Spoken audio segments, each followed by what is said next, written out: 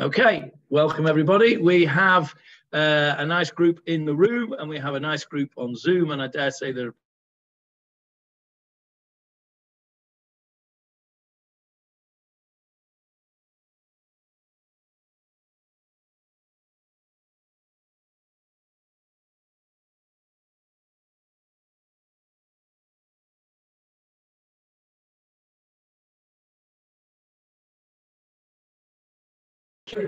Now, I wouldn't be so presumptuous as to say such a thing. Uh, but what I'm going to suggest to you as an alternative uh, is rather um, radical and um, not acceptable by everybody. I put my cards on the table. My wife would not let me do this for a few years that I wanted to do it. Now we do it, and she's a big fan.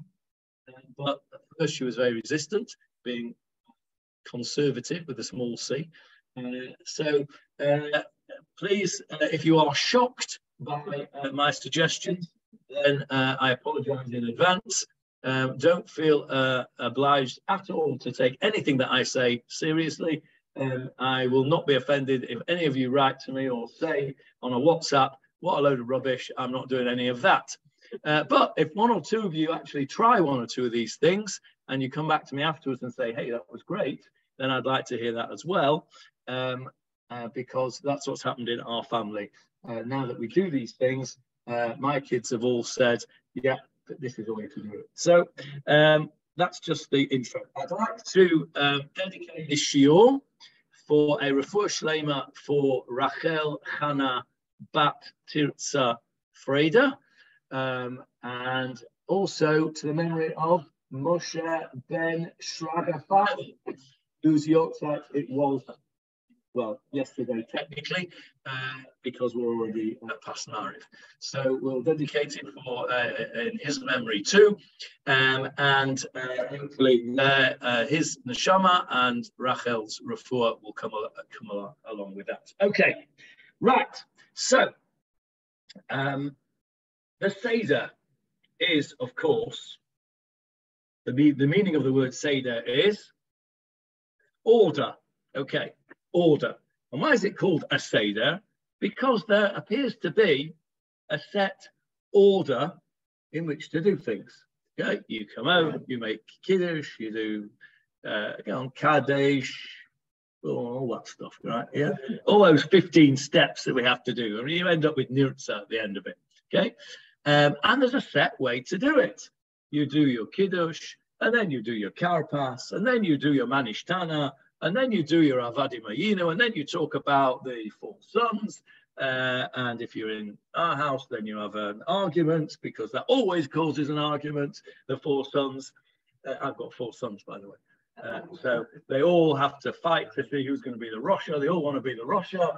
Um, and so, anyway, and then you do your, your, your Rabbi Akiva and Rabbi Tarfon sitting around Bnei Brak.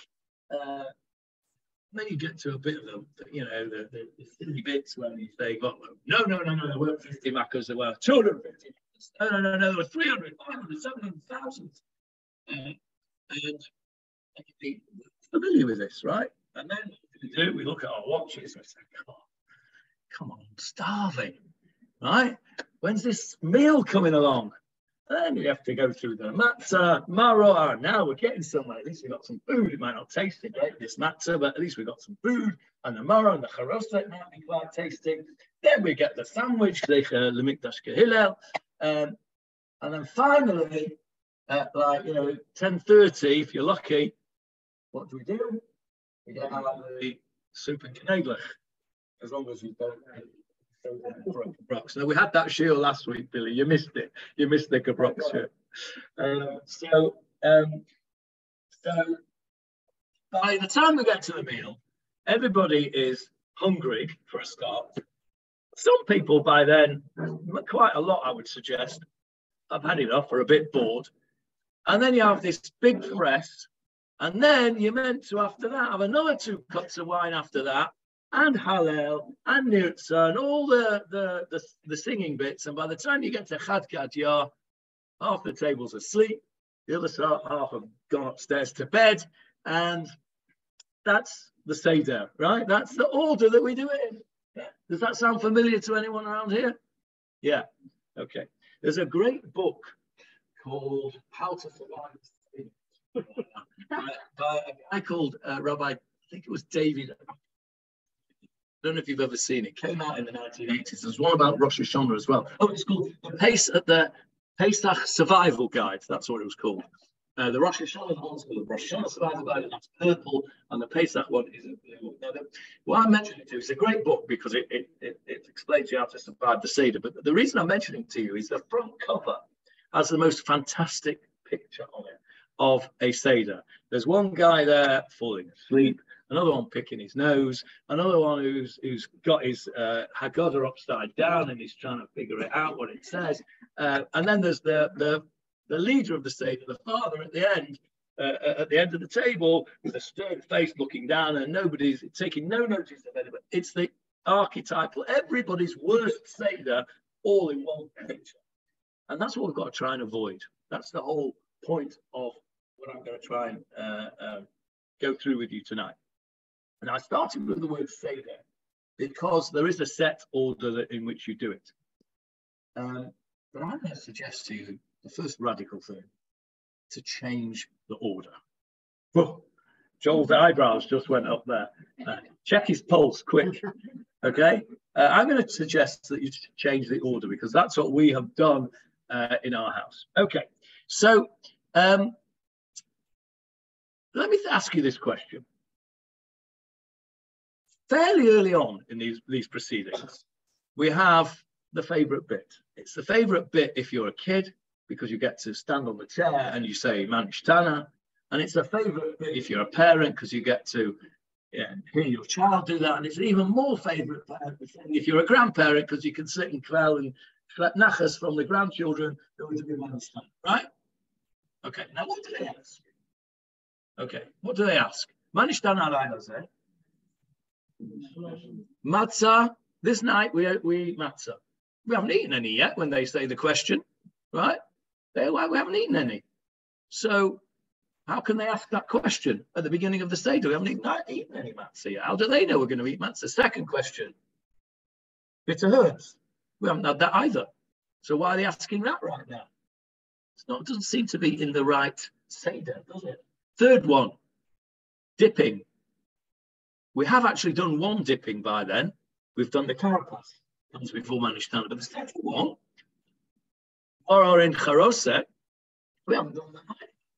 So that's the third one that we've of the four questions that are not right in the right order. And the fourth question, why on this night do we lean and not sit when we eat?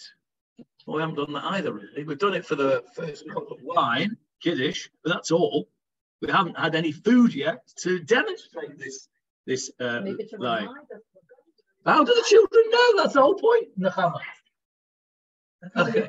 So, so the whole the whole point of of the the question and answer uh, style of the seder is because we're meant to pique the interest of the children, and they should ask questions. So it's clear, isn't it, that the questions are not in the right place because they're asking questions about things that haven't yet happened.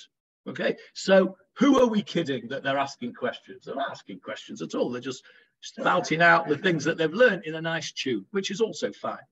But if we're going to make this meaningful, then we have to ask why did the Baal Haggadah make the Manishtana out of order? Because clearly the Manishtana should be said, should be asked after the meal. After the meal, the kid would say, imagine a kid has never been to a Seder before, right? So his first Seder that he, rem- he remembers. Six-year-old child, let's say, seven, eight-year-old child, let's say. After the meal, it's a reasonable question. Hey, Abba, why have we only had matzah tonight? Abba, why have we had bitter herbs tonight? That's a bit weird, isn't it? Thirdly, why are we dipping all this twice? We're dipping in. And the fourth thing, why were you sloshing around at the table and leaning all over the place? Never seen you do that before. You always tell us we've got to sit up straight at the table. How nice manners. almost accomplished Okay, so Joel says at least we've had Korech before Shulchan Aruch. So, okay, I'll, I'll, buy that. And let's have Manishtana after Korech at least. Korech is the sandwich where we have Zechel Mikdash Hillel. this is the way Hillel used to do it. The Torah tells us that we have to have the Korban Pesach, which we no longer we, we, we can't have at the moment because we don't have Beit Mikdash. But in the time of the Beit Mikdash, they had the Korban Pesach, the Paschal lamb, and the Torah says, Al matzot umorim yochaluhu. It shall be eaten with matzah and maror. So this Rabbi Hillel took it literally and said, oh, you've got to eat it with.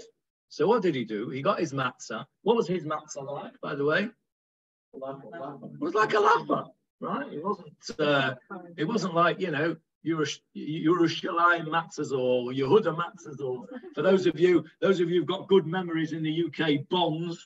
Yeah, remember that, Charlie? Yeah, but those like you know flat, crispy matzahs. No, that wasn't matzah. What they had was lappers. So what did he do? He says, okay, the Torah says I've got to have the paschal lamb with my matzah and my mora. So he made the first pitta, shawarma pitta, that's what he got, roasted meat, and he put it in his laffa, and he put some bitter herbs. What do we have for bitter herbs? Generally speaking, nowadays we have lettuce, yeah? Oh, no, no, the charos is not the bitter herbs. Charos is something else. You can put that in as well, a bit of, yeah, a bit of charif as well. Exactly, yeah, you could use that. So what did Hillel do? He made himself a Shlomo Lafa. Where did we get to that? Oh yeah, so Joel said, okay, at least we do that before the meal. That's correct. So we could have manishtana after after the sandwich. But before we do anything else, before Magid, before so why did the Rabbanim or the Baal Haggadah make Manishtana out of order? Any suggestions? Okay, Magid is the answer to Manishtana. Uh, very, very good. You just gave me a nice intro. So why don't we have Magid in its right place as well then, after the meal? Okay, that's the fit. So that's not the right answer to the question of why the Chachamim. It's a good answer. It's not the answer to the question that I asked, which is why did the Rabbanim make it early on? There's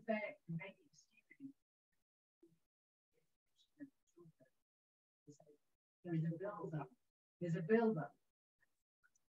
Okay, so uh, why are we doing it? Whatever the kids are going to notice things are different, and then they'll say, "Well, why are we doing it?" And even you know, so you'll say, "Oh, you know, we can't have chametz, and we're going we're going to be eating matzah. We're going to be." Okay, so let me answer. Let me say your answer um, uh, so that everyone can hear it. Karen says it's because the, kids are coming to the Seder educated already during the build up to the Seder. They have been told that we're not going to have chametz and we're going to have pizzas. Okay, fair enough. But you've already then will have answered the questions because when they see you cooking and everything and you say to them all those, so it's a, it's a, it's a, a reasonable answer. But I heard Nechama's answer in my duff ear over here. Uh, and I'm not going to mention it Okay, so Nechama's answer, Nechama's answer was a very practical answer, and that is, it's late. That's, who does the manishtana? The kids. It's late. Even if, like with my own children, you made them go to bed in the afternoon. By the way, my kids all went to bed in the afternoon of uh, Erev Pesach, and none of them slept. Right? They would hear me coming up the stairs to, to check that they were asleep. They would jump in their beds, pull over the covers and pretend to be asleep, and they thought they'd fooled me. Well, I want you to know, boys, you didn't fool me at all. I knew you weren't asleep, but we had to go and try. So um, they haven't gone to sleep in the afternoon. They're too excited about what's going on. So they come to the Seder, they're excited. But if you keep them up and keep them up until after Shulchan Aruch, even after Korech, they're going to be asleep and they're going to miss their bit. They're going to miss their big night of standing on the chair and saying Manishtana. So quite simply, the Baal Haggadah was a practical reason. He brought it forward. Uh, and um, they, they would have expected that the, the kids would have done some education, either, as Karen says, in the preparation in the kitchen, in the house, and what have you, or, if a bit of luck, at school. um, although you can't guarantee that, but you know, hopefully they've learned something in school uh, and, that. So, so the, the reason that Manishtana is there out of order, out of Seder, is a quite a simple one. Billy, you wanted to ask me something?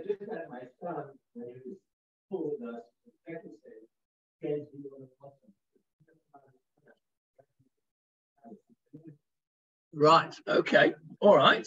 So, I'll just repeat that. Billy said that in in in in when his son came to Chutz uh, from Israel, the second Seder, which wasn't really Seder for them, they messed about with the altar and did Chad Gadya straight after Manishtana, so that the kids who never got stayed up for Chad yeah, that's a, a, perfectly good idea.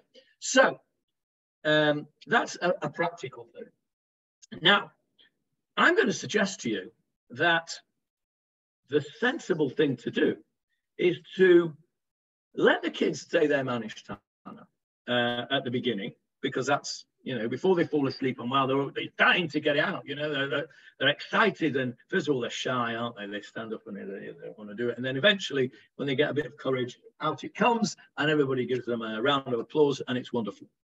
Um, and then we're meant to go into Magid. So the first thing I'm going to suggest to you is that not only am I going to suggest in a second a change in order, change in Seder, I'm going to suggest a change in place. So anybody here not have what we know as a Seder table? You all sit around a table, right? You come in, it's beautifully set. And um, in our house, since uh, my daughter is uh, an artist, and she loves all these things. It's decorated. We have a, a, blue runner in the middle of the table, which is all wavy. It's meant to be the yam suf, and we have plastic um, animals for the for the ten plagues and all sorts of stuff going on the table. So that's first of all, make it exciting. The kids make it colourful, make it different, make it all that. That's the Seder table. I just wonder if you're going to go we actually had a Seder Okay, stop that because you're just about to steal my thunder. Okay, so uh, everybody here uh, has their Seder round a table. I'm going to suggest to you that the first part of the Seder should not be around the table, but should be in the lounge. If you have an open plan, like most of the, the apartments here have got not got separate dining rooms, like in England, we used to have houses with dining rooms and lounges and separate rooms. Actually, worked even better there. Not that we did it there, uh, but it would have worked even better because you're in a completely different room. But the, the suggestion is that you come in and you um, uh, sit, uh, stand around the table for kiddush, and you round this beautiful Seder table that you set. And by the way, Seder night is the only night where it is a mitzvah to show off whatever you have in terms of uh, uh, beautiful crockery, pottery, silver, whatever it is, family heirlooms, put them out on the table. Because every other time, you know, if somebody comes to your house for, I don't know, Rosh Hashanah, and you put out all your splendor and you're saying, look at me, you know, uh, that's not appropriate. Seder night is absolutely appropriate because we are celebrating what? Freedom. We're celebrating freedom. We're also celebrating the fact that HaKadosh Baruch Hu brought us out of Egypt with great wealth. So uh, it's the one night where you can show off your finery. So you should have the table set beautifully and excitingly and colourfully and all the extra bits and bobs that you're going to have for the kids uh, that you've got ready. And then you stand around the table and you make kiddush. And then you traipse around the room right? As if you were leaving Egypt, right? We have in our house, we have a minhag that they, what happened to, to the Bnei Israel is that in the end is they were chased out of Egypt, right? Paro came in the middle of the night and said to Moshe and Aaron, get out of here. I've had enough, out. And as it were, he chased us out. So we have a minhag in our uh, family that we appoint one person, Paro, the wicked Paro, to chase everybody out. It's always my wife. She's always she's always the wicked arrow, and she chases, and we go around the table, and everybody's running around. We end up in the on the sofas and the armchairs, and that way you are actually leaning. You're sliding around. What's the idea of leaning? The idea of leaning is the symbol of freedom, okay? Because in the old days, in the Roman, the Greco-Roman Empire, they used to eat lying around on those chaises long, right? On their left-hand side. Why do they lean on the left-hand side, by the way? Nah, that's what you were taught in school. That's what I was taught in school. Nonsense. They're all right-handed. So if you're leaning on your left hand side, then you eat with using your right hand. Okay. Yes, it's true. It's true that the right main bronchus has a slightly uh, uh, wider angle than the left main bronchus, and so it's possible that, that, that and that, that is said as a reason. So I was taught that as well, Karen. Uh, but actually, the real reason that we lean on the left hand side is because the Greco-Romans, when this minhag was invented, uh, leaned on the left hand side because everybody was right handed. Even people who were left handed were right handed. And that went on until about 1950, right? Uh, that people who were left handed were forced to be right handed. So everybody was right handed. So you lay on your left side and you eat with your right hand. Now, the idea of leaning while eating um, is something which um, is very difficult for us because, first of all, our um, method of eating is not the Greco Roman three persons method of lying around on a, uh, couch. Okay, although there is one or two, or two members of my family that do like to flop about and, and, and, eat lying on a couch, but it's not a dumb thing, really, right? We sit around a table, don't we? Now, when you're sitting around a table and you leave, it's meant to be a sign of freedom. So, what does it end up being? Here's your your cup of wine, and you're leaning and you're leaning to the left hand like this, and it's really difficult, and it spills down your shirt or your kittle, uh, and it's as really uncomfortable. It's about as unfree as you could possibly get. That's not. It's not the way it should be. That's not what you're meant to do. Is to eat like this, you know, like leaning to the left hand side. That's not what it's about. It's about a symbol of freedom. Now, freedom for us in terms of eating would be to, you know, sit around and, and perhaps I used to back in, in Manchester, the only sop to this I used to do is I used to bring in my armchair from the lounge and this reclining armchair, which I used to sit there like a king there uh, in my reclining armchair. And even that's quite difficult to eat lying down. So, uh, so don't get hung up on this sitting around the table and leaning because you're actually doing the opposite of what you're meant to do, which is to, to eat like a free person and eat like a, a, um, a lord. So what we do is we do kiddush, we're chased around the room by the wicked pharaoh, and we end up in the lounge on the sofas, everybody snuggled up, grandchildren on your lap, you know, cuddling away, and then we do karpas in that area. First of all, we do um, we wash our hands, or we'll Seder washes his hands without a. That's another thing that we do. Why do we do that? Why does the, the, uh, the Baal Seder uh, wash his hands? Because uh, that's he's the he's the boss. So what we do in my house is I just sit there and instead of going to the tap to wash my hands like we would normally do, brings a bowl, a cup, and uh, we make a big fuss about it that she's the wench and I'm the master and she has to wash my hands and I, she has to bring my uh, uh, uh, a towel and I hold my hands out for her to dry them like she's my, like she's my slave. Right? She's not a slave, she's a free person as well, right? But it's to demonstrate to the kids and the people there that something different is going on here. Normally, mummy's the boss. What's going on here? Okay, that should be the fifth question, right? On all of the nights of the year, mommy tells you what to do. On this night of the year, daddy tells mommy what to do. Okay, so we so we make a big fuss of that. Um, and again, it's another symbol of freedom. The idea is that we're meant to be having this duality of symbolism here. On the one hand, freedom. On the other hand, we're um, remembering the bitterness and remembering the slavery. So um, so we then wash our hands and we do karpas. And we do karpas in the Greco-Roman style, okay? Because that you can do. It's only a little bit of potato or parsley, whatever it is you have. And what are we dipping in? This is this duality. We're dipping in this vegetable into salt water. The, the, the, the duality of this dipping is that on the one hand, dipping is a sign of uh, freedom of, of nobility. You go to a posh wedding, right? What happens? Some people walk around with trays and stuff, and you're meant to take it off and dip it into the sauce that they've got there. Uh, that's the appetizers, you know, that's, that's what happens in posh places. So that's dipping, but we're not dipping into fancy sauce, we're dipping into tears here. Salt water is reminiscent of the tears. So it's a duality here. On the one hand, it's free, on the other hand, it's slavery. So there's a, uh, there is a, a, an argument, a discussion amongst the rabbis as to whether you lean or you don't for karpas, because you only lean for the things that are, are freedom. So you don't lean for a right? That would be silly. Why would you demonstrate freedom when you're eating the bitter herb?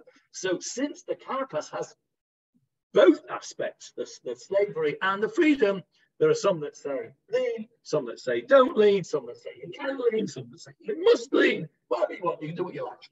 Okay? You can't go wrong because everybody says something. So what we do is we take the opportunity, since we're in the lounge at this point, and we're not going to have our meal in the lounge because that's not what we eat, but we can demonstrate this freedom by lounging around in the Greco-Roman style on the left-hand side and dip our little piece of potato, which is what we use, and have our karpas in there. And we've demonstrated by doing that something A, different, B, we're not at the table, C, we're lying around, uh, and uh, D, we're dipping. So these are, if you like, we've, we've covered already some of the Manishtana things, even before we get to uh, the eating bit. So that's what that we do. And then you would normally answer the Manishtana. The Manishtana is, why are we doing all these things? That's what Manishtana means. Manishtana. So what is different about this night? And then we answer the question. Normally the answer is, we were slaves in Egypt to Pharaoh, and bang, we're into Magid. And then you're on a roll, aren't you? Because where do you, you know, where's it stop? And the uncle wants to say it's Dvar Torah, and then Moshe wants to argue with the Dvar Torah and give a different chat. And if you've got this is if you've got yeshiva bochrim, you'll never get to you'll never get to eat, right? Those that are not in yeshiva will be bored because they'll be arguing about some point in a Rambam. You've got to knock that on the head, unless you've got only yeshiva bochrim around the table, right? You've got to knock that on the head because you've got the whole of Pesach to do that, not Seder night. Okay, so you've got kids, you're going to have a kids Seder. You've got teenagers, you're going to have a, a, a, bit more depth to it. And if you've only got adults, then you know then you've really got a job on your hands because they they are usually if you've only got adults, it's quite hard to get them motivated. So so um, you've done your karpas, and then what we then do is we do the manishtana because it's still early and the kids are uh, uh, are not yet fallen asleep, even though they've had a little cuddle on the couch with the, with the karpas. We do the manishtana, and then we say, okay, you've asked me some really good questions. You know what? Let's eat, and I'll tell you the answers while we're eating. So what we then do is we jump all the way to matzah, maror, and korech, and we miss out the whole of Magid at this point. And we say, okay, come on, let's go back to the table and let's eat. And while we're eating, I'll tell you the answers to all those questions that you've just asked me. So we then go and we sit down where we go and wash for, for uh, matzah. We do motzi matzah. We go and hide the afikoman. We do mara all the way through the seder. That seder goes then from motzi matzah all the way through to up to and including shulchan aruch. Okay, so it's now only half past eight, nine o'clock, and not half past 10, 11 o'clock when you're eating. So what have you achieved? First of all, you've achieved that people are happy because they're not hungry. Okay, they're going to get food earlier. Secondly, they're not bored because they've not gone into all the different shot him of Rabbi Akiva and Rabbi Tarfon and, and, and all that stuff yet. Okay, on an empty stomach. One year, by the way, uh, uh, uh we, we had a quite a, a big uh, crowd, and I confiscated everybody's watches um, uh, as they came in. I said, right, you have to put your watch uh, in this box here. Nobody's allowed to have a watch on the table. And I made the clocks. They didn't know this, but I made the, I made the clocks an hour slow, right? So, in the room. So nobody knew what time it was, uh, really. Um, and it made a difference. And you know, it was really interesting. And I did it myself. You know how many times when you don't have a watch on, you look at your watch? You don't, you don't realize how many times a day you look at your watch.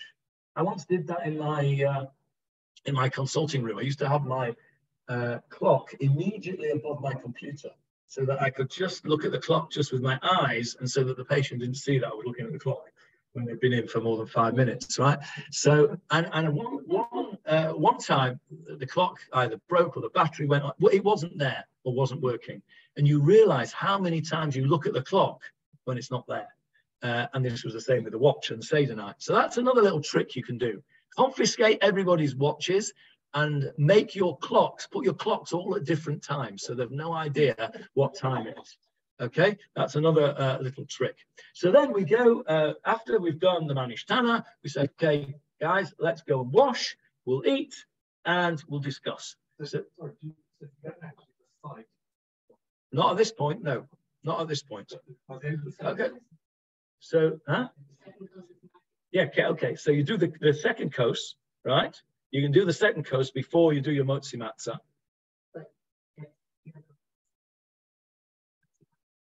Yeah, yeah, you can you can you can do your coast. You can do your hallel if you want to do your hallel to have your coast, or you can just have the coast and you can do your hallel during what I'm going to say. Okay, just hold it for a sec.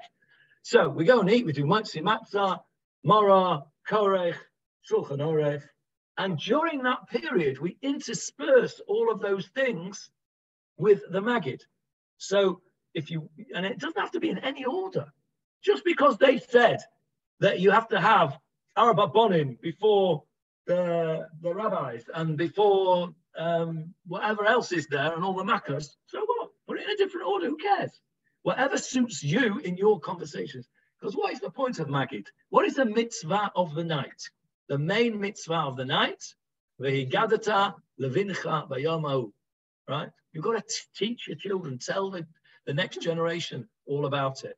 Makes no difference how you do that, as long as you do it. And if by sticking to this rigid order that we've had for all these years, everyone's just going, oh, whoa, whoa, whoa. Boring. You've not achieved anything.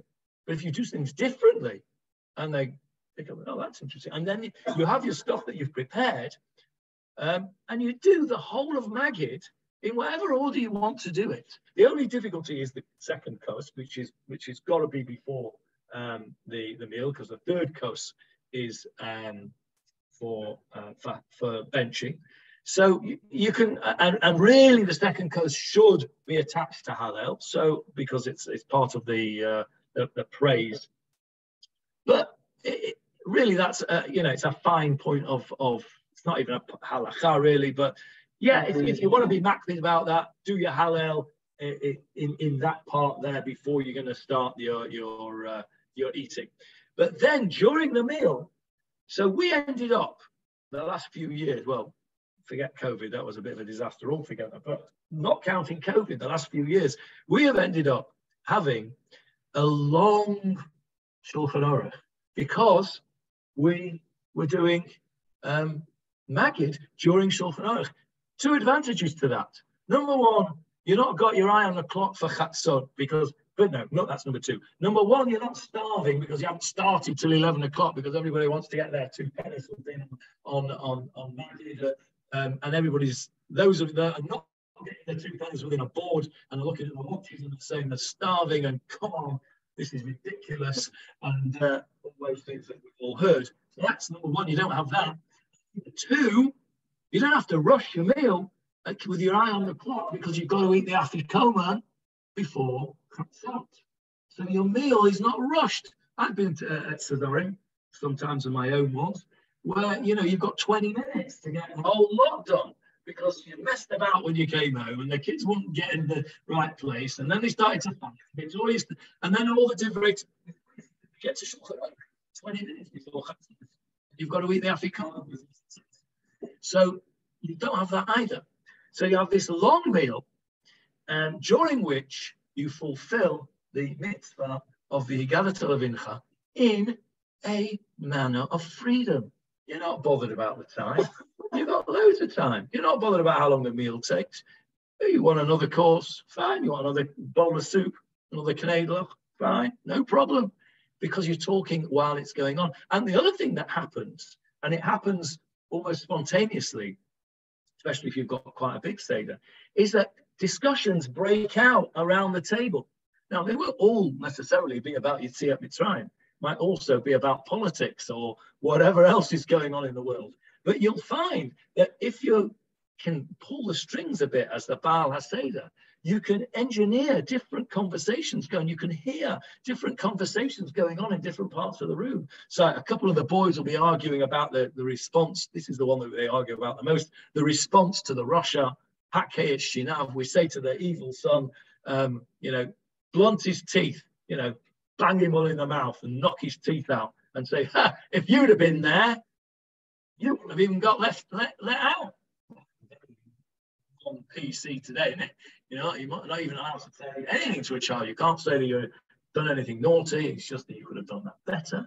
And, uh, you know, you're not a naughty boy. That was a naughty thing that you did and all that stuff that we, we have today. So that always generates a bit of argument. So you can, you know, you can uh, engineer that. So you can end up having around the table, you need to have, you know, you need to have the reins a little bit so it doesn't just degenerate. But uh, you can do that because you say, okay, let's let's read the bit now about the four rabbis, five rabbis. Sorry, not four rabbis, five rabbis, right? Five rabbis in Bnei Brak.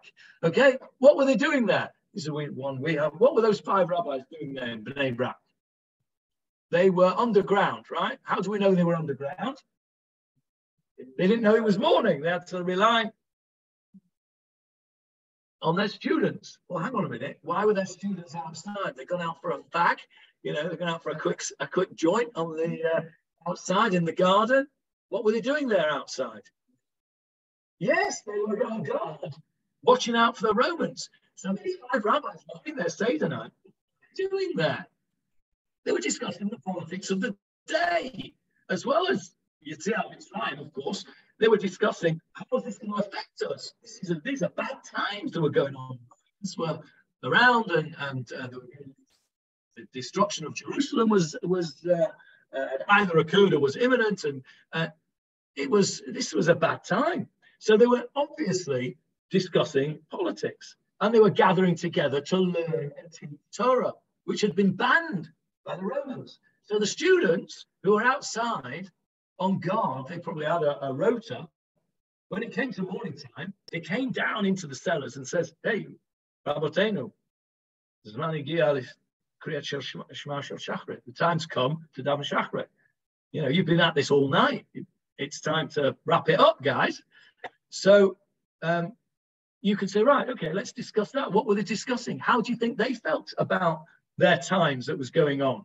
And that leads you then into different eras of the uh, uh, of Jewish history and how they would have stayed there. I remember one time uh, I, I, I, came in and I sat down at the stage. This was when I was back in Manchester. And I said, "Okay, everybody close your eyes. We're going on a time time machine, and we're going back 2,000 years, and then we got back in our time machine and we went back. We went forward to, to 1492, time of the uh, um, Spanish Inquisition, the expulsion from Spain." We then went forward a bit further on to the time of Shabtai Tzvi, and further on still to our my grandparents, the times of the pogroms in, in Eastern Europe, and then through into the times of the Holocaust.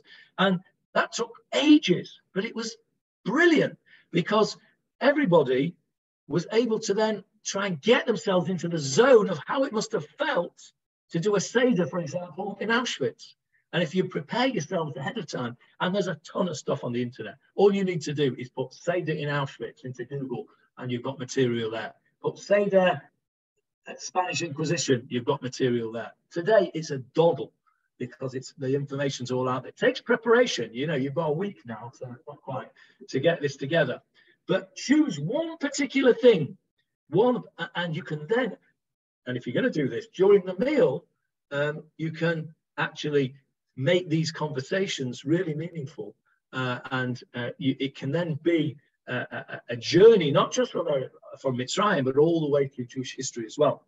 Um, another advantage of doing it this way is that you've you've actually combined two things together, Magid and the meal, so they're overlapped. They've actually saved time, so it doesn't drag. So there's less boredom, and by the time you come at the end, people are now are ready. They're not falling asleep, and they're not, you know, come on, let's get this over here. They're ready for a good old sing song through Hallel and and uh, if you like our family, which are pretty unmusical. No, no, that's not fair. We are totally unmusical, right? Um, we've all got lousy voices, and um, none of us can really hold a tune. And we just say, okay, look, we know it's not very good. If it's a one night, my kids used to tell me when I used to sing Zmiris at home, probably said, oh, Dad, do me a favor. Shut up. Uh, and it, it, was horrible. I said, yeah, I used to, and I say it, say I don't care how bad it is, I'm going to sing because I like it. I like these tunes. And so we all get stuck in and we all sing, um, and it's a horrible noise. but no, I can't hear this horrible. To me, it sounds beautiful. It's wonderful music. So, um, um, and and then you finish at a reasonable time. Um, and so uh, the the things that we've we've said here, uh, uh, and I'm going to just summarize so far, and then I'm going to add in something else the last few minutes before we go on to questions. So what we've said is, don't be stuck with the Seder. The, uh, the reason I told you about the Manishtana in the first place is because the Manishtana was not originally where the rabbis put it. The rabbis put it because of what Nachana said. We'll see. Have a look in Psachim, uh, chapter 10, Mishnah 4. Uh, it tells you about the four questions that are asked there and they're not the same four questions that we have uh, because they ask a question about uh, the Korban Pesach. We replace that with the leaning business because uh, we don't have a Korban Pesach anymore. Look in uh, Pesachim 10.4 um, and you'll see that uh, the answer then is, uh, of course, is Magid, um, and it's clear from there that the, the Chachamim have, because of the types of the questions that are being asked, the Chachamim who put the, Baal, put the Haggadah together changed the order. So we don't need to be stuck with an order, okay? If by sticking to the order, you are failing in the mitzvah of the Gadat Alavincha, then it's pointless. Okay, you stuck to the Seder. Wow, I've done the Seder. I've done all 15 steps of the Seder. Aren't I good? Yes, but you didn't do the main mitzvah, which is the Gadat Alavincha, because your kids were bored. So you don't have to stick with the, with the order.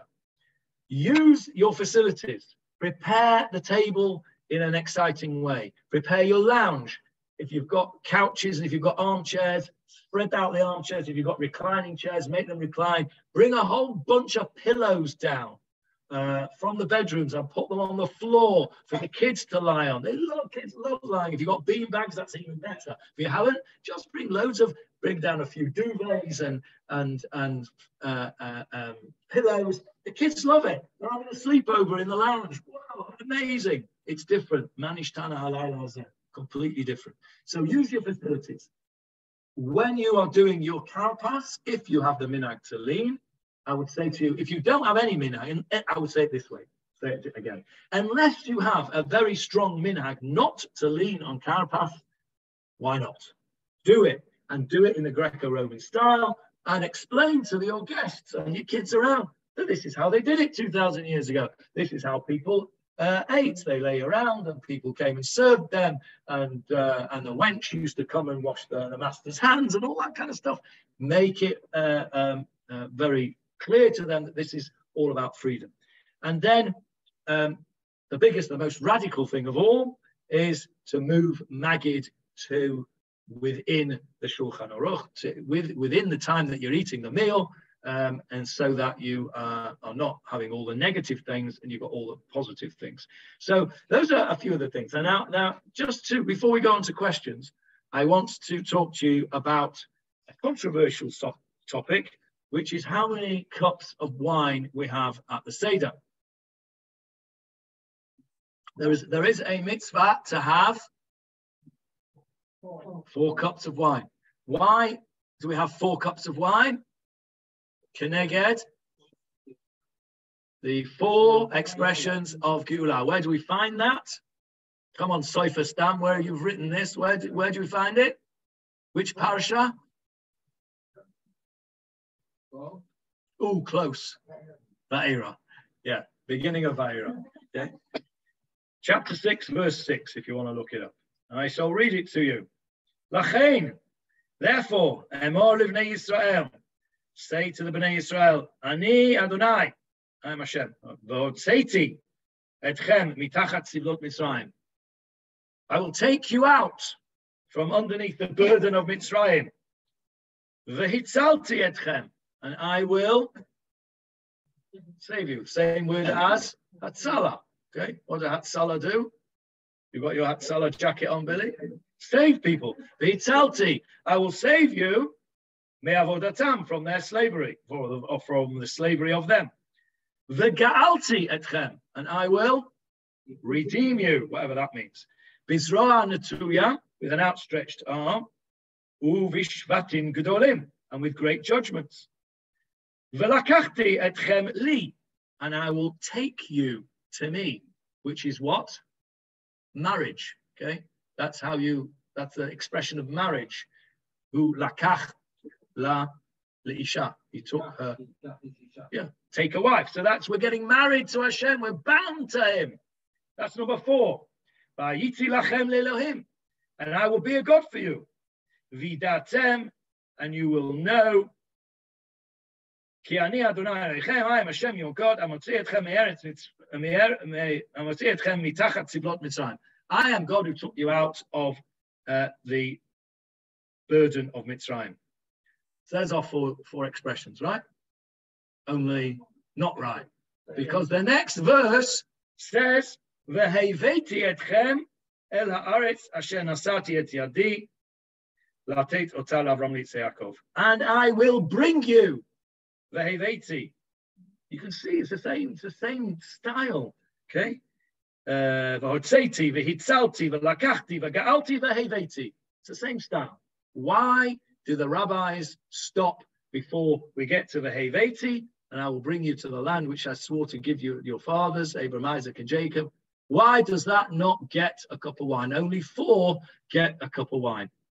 And it's a mitzvah, Rabbanah, to drink those cups of wine on, on uh, Seder night. Why did they stop there? Not fair, says Veti. What about me? So, what's the answer? They were still waiting at that point. Correct. When that Haggadah, what was the Haggadah written? After it, it, evolved, yeah, but it, it the earliest part of it is from Mishnaic times. Mishnaic times were when 200, something like that. In other words, 150 years after the exile, okay, after the Khurban, after the exile from Israel. So, when this Haggadah was written and when it was put together and it evolved over a long period of time, bits were added, and then another bit were added, the B'nai Brak bit was added, and then all sorts of things. And if you if you want to look and see the history of the Haggadah, there are some people who've written really deep research into how the Haggadah was put together. It's fascinating. It's not for now, but it's fascinating. Um, but in all periods of the ev- evolution of the Haggadah, we were in exile. And so that fifth cup of the Heveti was not drunk. It was, however, and has always been present on our Seder table. What am I talking about? Kos Shel Eliyahu. And what is that Kos Shel Eliyahu? It's the Kos that Eliyahu Anavi will drink when he comes. And when is he going to come? When Mashiach. He's going to come on Wednesday night. So when Eliyahu Anavi is going to be the it's going to be the bearer of the news that we have reached yeah. Mashiach times. Okay. And the will change Okay. Wait. So for generations, we have had a fifth cup waiting to be drunk. And what's that fifth cup represent? It represents the fifth expression, the Heveti, and I have I will bring you to the land which your fathers, which I swore to your fathers to give you. Does it say, I will bring you to Yerushalayim Habanuyah, where the Beit HaMikdash will be rebuilt? What does it say? David's shaking his head there. David, loud and clear, what does it say? I will, Veheveti, Etchem, where are we? Yes, El Haaretz, to the land. Asher Nasati et Yadi, which I have placed my hand upon, Latet Ota, to give it, La Abraham, Yitzchak, Yaakov. So there are those who say, and I count myself amongst them, not amongst them because I didn't think of it, but amongst their followers who agree that the time has come to drink that fifth cup of wine because we have been brought to this land. That pasuk, the first four have been fulfilled. HaKadosh Baruch Hu took us out of Egypt. V'hitzalti, he saved us. V'ga'alti, and he redeemed us with an outstretched arm. V'lakachti, v'lakachta, and I'll take you, and he's done that. We are his people. And now we in our generation are witness to the fact that Veheveti has been fulfilled as well. We have been brought back to this land. The first time in 2,500 years, or more even, 2,700 years, since there was Jewish sovereignty in the land of Israel. Remember, all the way through the, the period of, of the second Beit HaMikdash, we were not sovereign in our own land. We were, vass- we're a vassal state at best under the Greeks and under the Romans. We had a short period of time where during the Hashmonaim and the, and the Bar Kokhba revolt, but basically for more than 2,000 years, we did not have sovereignty in our land, and now we do. And who has brought us back? Not Koichiviatzim Yodi. It's not us. We had to do our part. Not me. I didn't do anything. Just turned up. But those that came here in blood, sweat, and tears, they played their part. Who's the main player here? Kodesh Baruch Hu. Why are we ignoring it? So my minhag has become that we drink a fifth cup of wine. Now, there are halachic problems with that because we have an, also have a commandment, al tosif. You're not allowed to add on. If you decide you want to have five, uh, I know that sounds a bit weird, five four species. You want instead of having four species on sukkahs, you want to have five. You're not allowed. You know, you've got to have four. That's a mitzvah deoraisa. Mitzvah derabanan. First of all, oh sure, you also shouldn't be baltosif. But there is a way to do this without being baltosif, without being adding on to it and saying chutzpah. Uh, uh, I'm going to, you know, Lieberman knows better than, than 2,000 years of Masorah, and I'm going to change the Masorah. No, that's not what we're saying. What we're saying is that we are looking at this from a positive point of view. We are fortunate to have been in a position to be able to celebrate the Heveti. And Nebuch, you lot, for the last 2,000 years, were not, because it wasn't there. You, you couldn't say the Heveti, you couldn't drink to the Heveti, You were in Golos. So, how do you do this technically without upsetting the apple cart and being Baltos? So, uh, for those of you who um, either are interested just to know or are interested to do, uh, I have produced a little sheet here which I will send around. Um, and I'll explain to you now, but I'll send it around for those of you who are interested. Okay, so the way to do it is like this. We um, normally, what we do is we have our third cup, uh, and then we have our fourth cup, um, and then we say ala gefen.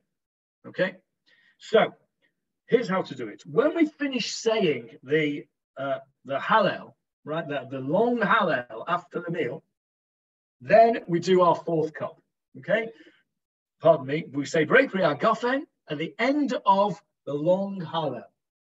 And then we say Breakri Gafen, and normally we would then say Al Hagefen, Al Priya Gefen. Okay. Um, so if you want to do the fifth cup, when you make the bracha on the fourth cup of wine after Hallel, you have in mind that you are going to cover the fifth cup with your bracha of the fourth cup. There's a big question anyway, it's not for now, it's halachic pilpul, as to why we need four cups anyway. I mean, why we need four brachas anyway. Because normally you make one break gofen and then you drink as much wine as you want meal, right? So why do we have four? Another question. So the fourth cup, when you say the break gofen, have in mind that you're going to have a fifth cup. And don't then say the Al Geffen, because that's your after bracha that says that's it, not having anymore now.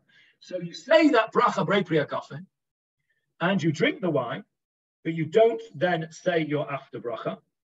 And then you, um, at the end of the Hodul Hashem Kitovs, all, that, all those long, long Hodul Hashem Kitovs, then you drink the fifth cup without a bracha because you've already made it, and then you can make your ala gefen.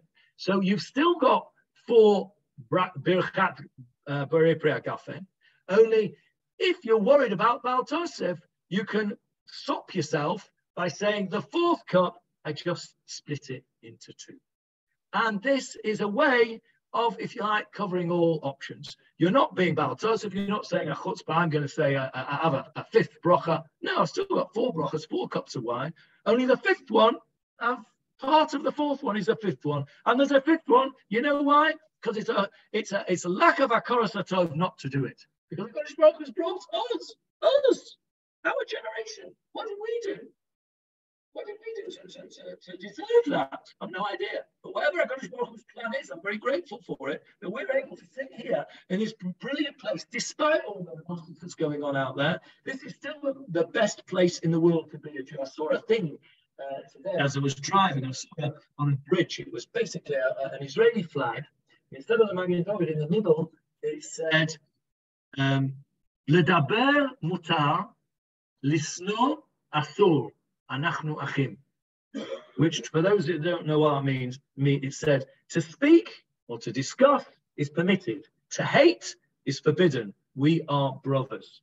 Now, I don't believe that you would ever see a sign like that, for example, in America with, with Democrats and Republicans saying, you know, we can discuss, but we can't hate each other. You know what? Because we're all brothers. I don't believe, and you certainly won't see it in the UK, Tories and Labour, you know. No, anachnu achim.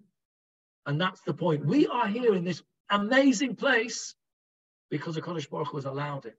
And for me, the most important part of the Seder is when I drink that fifth cup. Because when I drink that fifth cup, I'm completing the circle. Kodesh Baruch Hu put us in Egypt. He took us out. He took us through the Midbar. He gave us the Torah. He brought us to Eretz Israel. We mopped it up. He kicked us out.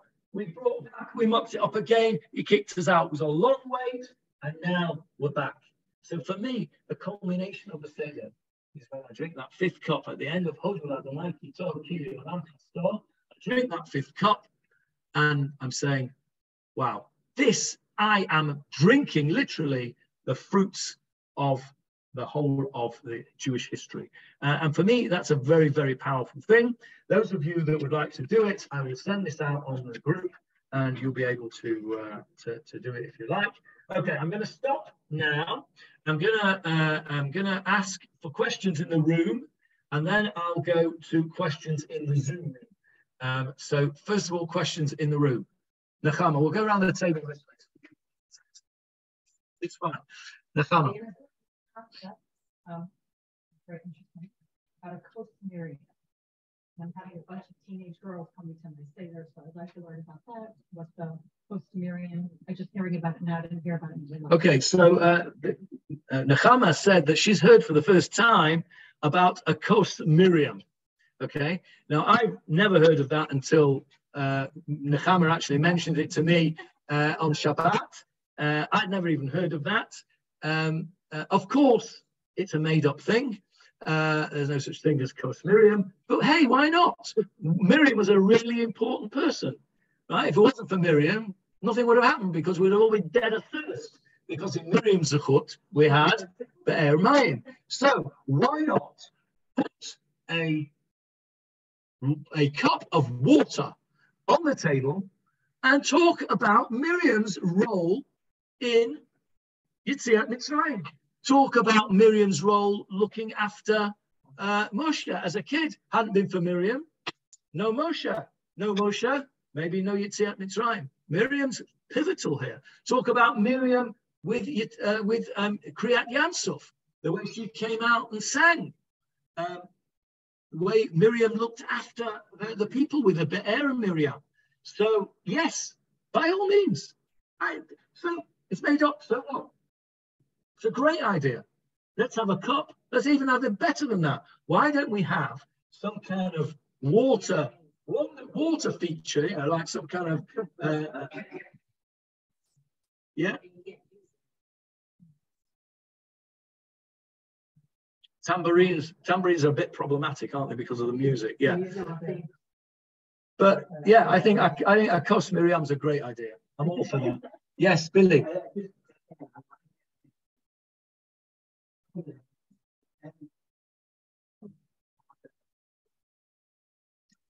Okay, maybe. Yeah, excellent. Great idea. We're saying Lashana Haba Yerushalayim. Hatik, it's it Hatikva is problematic for some people, uh, particularly the Chabadnikim. Uh, the, the, the, the Chabadnikim are very are very touchy about Hatikva because it doesn't have God's name in it. Um, but hey, you know, at the end of the day, it it, it represents. Uh, you can have God in your heart; doesn't have to be in the words. Okay, it's not a tefillah; it's a it's a statement. So yeah, I'm all in favour of that. Anyone else around the table, David? Many.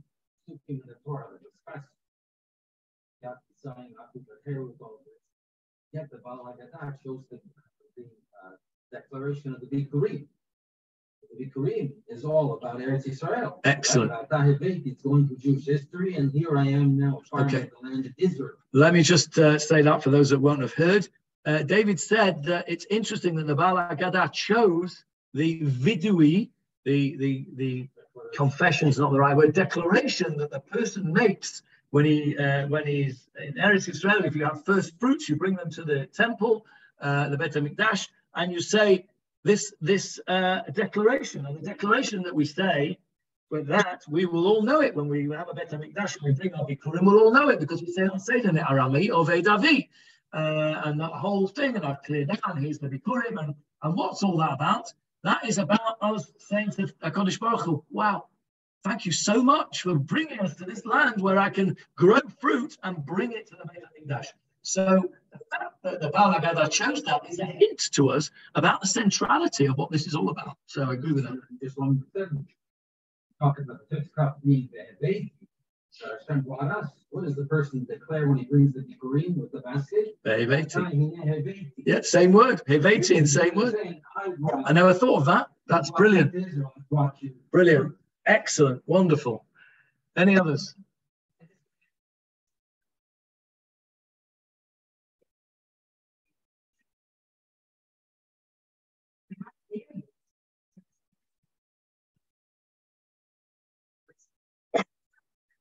has not has not come and said, okay, we're at the Geula stage. Okay, so if you are, um, if Mashiach is a an individual who will come riding in on a white donkey, preceded by a declaration by Eliyahu Navi, then you can say we are only the right at the very beginning, Reshit Tzmichat Geulatenu. He doesn't say, Rav Kook didn't say Reshit Geulatenu, he said Reshit Tzmichat Geulatenu, just the beginnings of the sproutings. Um, so uh, drink a little bit of the cup then, right? uh, like the of. However, if if you like me and you don't and the Rambam, as it so happens, not that the Rambam asked me, but if you are like me and the Rambam, um, who uh, speaks in Moreh Nevuchim about an idea of the times of Mashiach, that Mashiach is not such a, it's not like, you know, a Wizard of Oz, a person there that's going to come riding in on a white donkey uh, and, you know, and, the, and the, the lion is going to lie down with a lamp literally and all that stuff from Yeshaya. But this is a time of Mashiach. And um, they, that, that the, the, the, the criteria that need to be met are that most of the Jews have been brought in kibbutz galuyot. We're almost there. We're about 49% of the world Jewry live in Israel. We have sovereignty over the land. There is a Melech al Yisrael, no politics, please, but we are at least sovereign in our land. Okay. And the third one is not yet there. That's the rebuilding of the Beit HaMikdash. However, we could have done it. We could do it. Har Habayit biyadenu. We have the ability to do it. Okay, politically might not be so expedient at the moment, but we have the ability to build a third Beit Hamikdash. It's our land. It's in our hands. Har Habayit biyadenu. So all I'm saying to you is that there is certainly a sad, there's certainly a position to take that we are living uh, at the very worst at the beginning of the footsteps of Mashiach. I would go much further than that and say that we are living at the at the entrance times of the time of Mashiach, if not in Mashiach times. And in my own personal view, is if you're waiting for a guy on a white donkey, you're going to be waiting a very long time because I don't think it's going to happen. But that's just my heretical views. You don't have to buy them at all. Uh, uh, ben, you. Are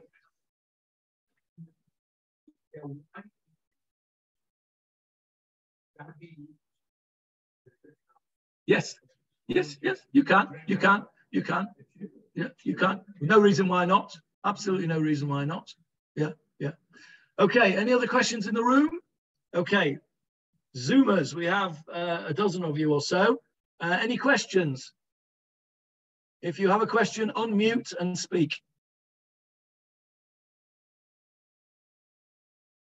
No questions on Zoom. Okay, in that case, call it a day. Chag Sameach, everyone.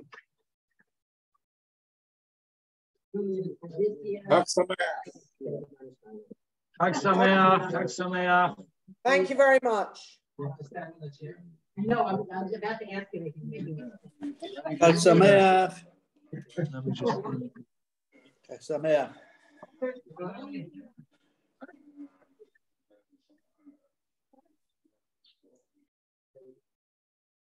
that car,